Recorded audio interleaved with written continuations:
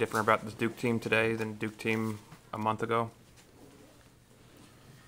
Well, I think they've clearly made the adjustment now without Ryan Kelly. I think they were still going through a little bit of a transition.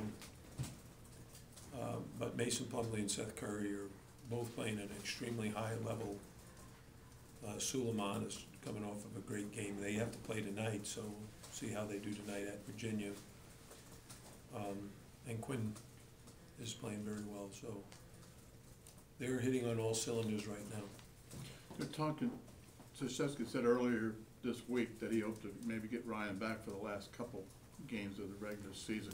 Would that even be a, a, a factor, even a Willis Reed factor for if he would be Well, I back I certainly, I- I certainly think having a player of his caliber helps. It gives you another weapon, it it allows you to rest certain guys.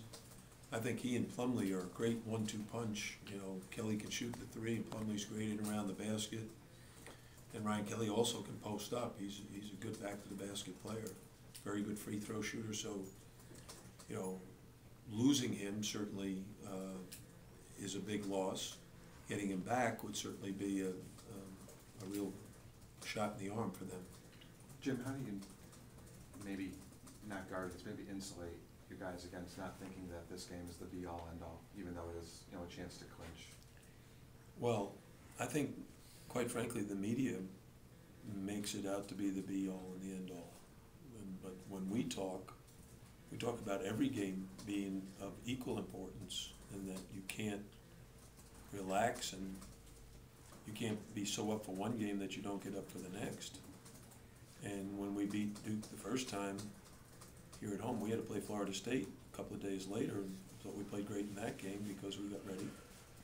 And then, uh, after we beat, uh, North Carolina at home, uh, forget who we played next, but, you know, guys had to get ready for that one too. That- That might have been at Virginia Tech, I'm not sure. No, I think Florida State again, huh? Yeah, it might have been. college game at home. Was it Or what? lost the college game?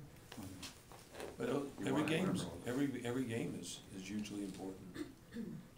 You know, w- one of, the one of the things that's happening right now is people are reading about our team and excited about our team. There's a, a great buzz. Uh, and people have been looking forward to this game on Saturday since we played them last. But for us, we've had to take it one game at a time. And, uh, you know, someone said to me, uh, after we lost to Wake Forest, oh, what the heck happened? And I was like, we lost the game to a good team. It's like, they're not any good, you should have won. No, they're a good team. They got good players, they're in the ACC, those guys were highly recruited. And they're a little young, and they play much better at home than they do on the road. And almost every team in the ACC plays better at home than they do on the road. So Duke is no different.